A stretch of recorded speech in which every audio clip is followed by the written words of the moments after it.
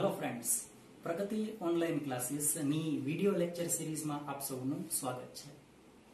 આજે આપણે ચર્ચા કરવાના છીએ ગણિત સબ્જેક્ટ હા, મિત્રો ગણિતની ગણિત વિશે એવું કહેવાય છે કે કોઈ વિદ્યાર્થીનું રિઝલ્ટ બનાવનાર વિષય હોય તો તે પણ ગણિત છે અને કદાચ બગાડનાર વિષય હોય તો પણ ગણિત જ છે.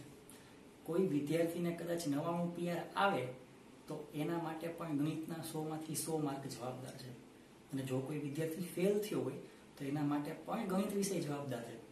તો આવા માથાકૂટવાળ ભારેખમ અને સાવ સાદી ભાષામાં કહું, તો ગુંડા જેવા વિષય અને આજે આપણે શીખવાના છીએ કે જેમાં આજે આપણે ગણિતમાં પ્રકરણ નંબર અગિયારથી શરૂઆત કરવાના છીએ. પ્રકરણ નંબર અગિયાર, જેનું નામ છે રચનાઓ. સાવ સરળ અને સહેલું ચેપ્ટર છે. એનસીઆરટી ના પરિરૂપ પ્રમાણે કુલ ચાર માર્કનું રચનાઓ ચેપ્ટર પૂછાય છે. અને આ ચાર માર્કની રચના વિભાગ ડી માં એક જ પ્રશ્ન હોય છે. હવે આ ચેપ્ટરમાં કુલ કેટલા પ્રકારની રચનાઓ આવે છે?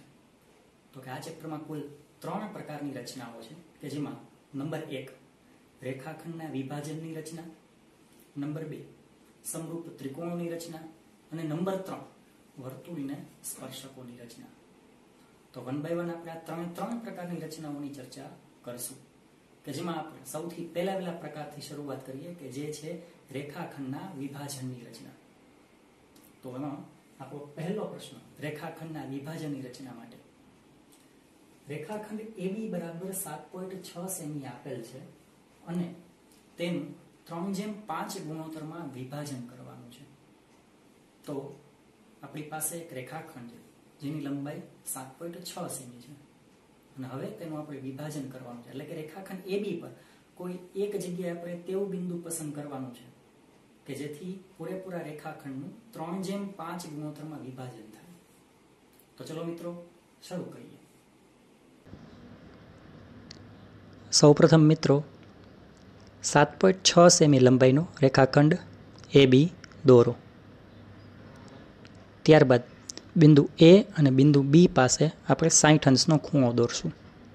સાઠ અંશનો ખૂણો દોરવા અનુકૂળ ત્રિજ્યા લઈ અને બિંદુ એ ને કેન્દ્ર તરીકે લઈ એક ચાપ દોરો.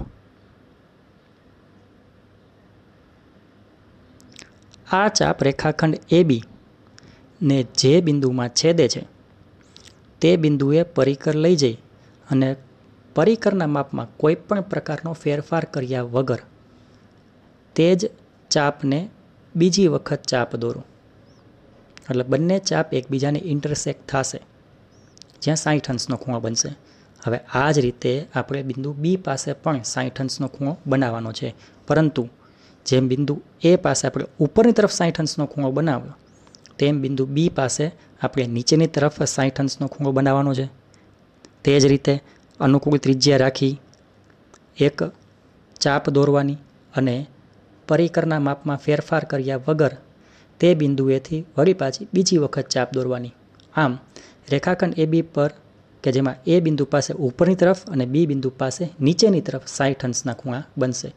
હવે મિત્રો, તેમાંથી એક કિરણ પસાર કરો, એટલે કે એ બિંદુમાંથી ઉપરની તરફ અને બી બિંદુમાંથી નીચેની તરફ. તો આ રીતે સમાન યુગ્મ કોણો બનશે અને ઝેડ જેવી આકૃતિ બનશે. હવે આપણે ત્રણ જેમ પાંચ ગુણોત્તરમાં વિભાજન કરવાનું છે. તો તેના માટે આપણે એ બિંદુમાંથી નીકળતા કિરણ પર એક સરખા અંતરે ત્રણ બિંદુઓ લેવાના છે. તેના માટે ફરીથી પરિકરથી અનુકૂળ ત્રિજ્યા લઈ, એને કેન્દ્ર રાખી ચાપ દોરો.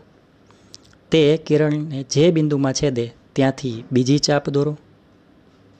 તે કિરણને જે બિંદુમાં છેદે ત્યાંથી કેન્દ્ર લઈ ત્રીજી ચાપ દોરો. આ રીતે એ બિંદુમાંથી પસાર થતા કિરણ પર આપણે ત્રણ બિંદુઓ લેશું. આ જ રીતે હવે બી બિંદુમાંથી પસાર થતા કિરણ પર આપણે એક અનુકૂળ ત્રિજ્યા લઈ સૌપ્રથમ પહેલું બિંદુ, ત્યારબાદ તે જ બિંદુ પરથી બીજી વખત ચાપ દોરી બીજું બિંદુ, ત્યારબાદ તે જ બિંદુ પરથી તેટલું જ માપ રાખી ત્રીજું બિંદુ અને આમ કરતાં કરતાં આપણે બીમાંથી પસાર થતા કિરણ પર આપણે કુલ પાંચ બિંદુઓ સરખા અંતરે લેવાના છે. એટલે કે આપણે બીમાંથી પસાર પસાર થતા કિરણ પર પાંચ ચાપ દોરશું.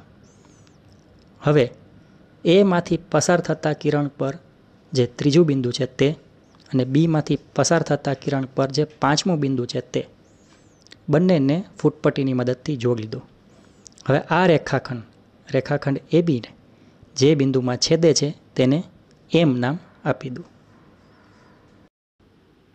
વિડીયોને વચ્ચે પોઝ કરતા જજો, જેથી કરી તમે સાથે સાથે ડ્રોઈંગ કરી શકો. હવે એક મિત્રો ખાસ યાદ રાખવા જેવી બાબત કે અહીંયા આપણે ત્રણ જેમ પાંચ ગુણોત્તરમાં વિભાજન કરવાનું હતું. એટલા માટે આપણે એ બિંદુમાંથી જે કિરણ પસાર થતું હતું, તેના પર ત્રણ સરખા અંતરે બિંદુઓ લીધા. તે જ રીતે બી બિંદુમાંથી પસાર થતા કિરણ પર આપણે સરખા અંતરે પાંચ બિંદુઓ લીધા, એટલે કે પાંચ ચાપ લીધી હતી. જો આ જ રીતે ચાર જેમ પાંચ ગુણોત્તર કીધો હોય, તો એ બિંદુમાંથી પસાર થતા કિરણ ઉપર ચાર ચાપ લેવાની. બી બિંદુમાંથી પસાર થતા કિરણ પર પાંચ ચાપ લેવાની.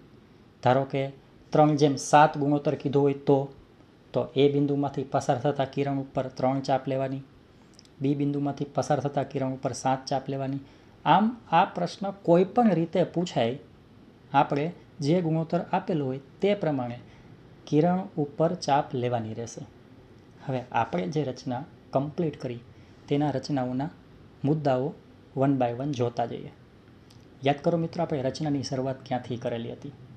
સૌ પ્રથમ આપણે સાત પોઈન્ટ છ સેમી લંબાઈનો રેખાખંડ એ બી દોરેલો હતો. તો આપણો પહેલો મુદ્દો થશે, સાત પોઈન્ટ છ સેમી લંબાઈનો રેખાખંડ એ બી દોરતા.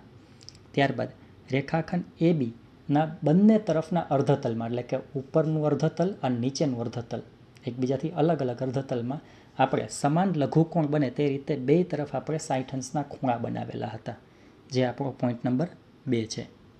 ત્યારબાદ એ બિંદુમાંથી પસાર થતા કિરણ ઉપર આપણે કુલ ત્રણ બિંદુઓ લીધા હતા, જેથી સમાન અંતરે ત્રણ બિંદુ આપણને એ વન એ ટુ અને એ થ્રી મળે. તે આપણો ત્રીજો પોઈન્ટ થશે. તે રીતે જ બીમાંથી પસાર થતા કિરણ ઉપર આપણે પાંચ બિંદુઓ લીધા હતા, જેથી કરીને આપણને સમાન અંતરે એમાં પાંચ બિંદુઓ B one B two B three B four અને બી ફાઇવ મળેલા. ત્યારબાદ આપણે એ થ્રી બિંદુ અને બી ફાઇવ બિંદુને જોડી દીધું હતું કે જે રેખાખંડ એ બીને એમ બિંદુમાં છેદતું હતું. તે આપણે થશે પોઈન્ટ નંબર ચાર. આમ, રેખાખંડ એ બી ઉપર આપણને એમ બિંદુ મળેલું, જેથી એ એમ અને એમ બીનો ગુણોત્તર ત્રણ જેમ પાંચ થાય. જો આપને વીડિયો પસંદ આવેલો હોય, તો વિડીયોને અવશ્ય લાઈક કરો, તમારા મિત્રોમાં શેર કરો અને સબસ્ક્રાઈબ જરૂરથી કરો. જય હિન્દ જય ભારત.